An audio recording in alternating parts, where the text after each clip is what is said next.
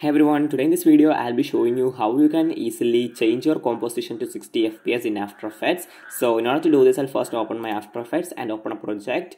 So first thing you want to do is um, find the uh, composition which you are which the video is playing in. So as you can see the composition is product promo 1. So in order to change this product promo 1 to 60 fps what I'll do is right click on it and then I can see the first option which is the composition settings. You have to click on it and now we can see uh, here the frame rate. So this is what the fps is. So what you have to do is select that and change it to whatever fps you would like and then click on ok.